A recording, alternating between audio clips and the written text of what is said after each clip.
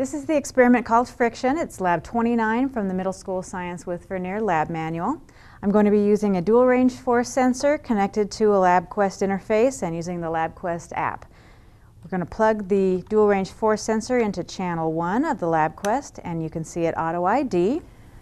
So the first thing we need to do is change the rate and length of data collection. So I tap on rate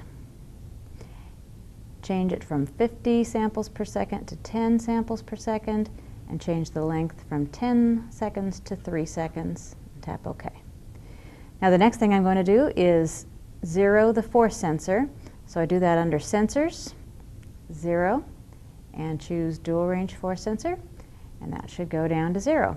So the experiment is actually going to be dragging a piece of 2x4 across the table surface and measuring the force as I do that. So I'm going to use a paper clip to connect the dual range force sensor to the little hook on the end of the 2x4.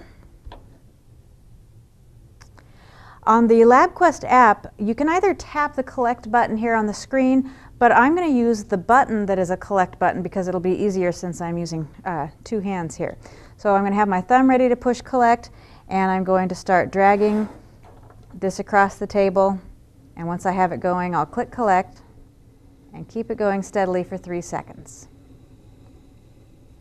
And so that is the force as we pull across the table. It auto scales to a tight uh, y-axis. Okay, so now I have my second surface, which will be wood on wood, ready to go. Before I collect that data, I need to store my first run of data. So to do that, there's a little filing cabinet icon on the LabQuest, which I will tap, and now I'm ready for my second run. So again, I will start pulling this across, push my thumb, keep it going for three seconds. Okay, and there's our data. I'm going to now tap on this run number two so I can select all runs.